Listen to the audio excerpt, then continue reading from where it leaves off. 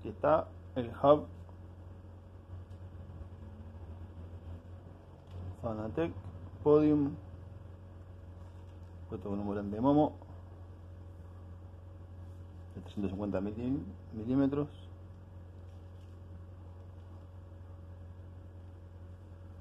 Acá están las, las paletas. Y tiene el quick release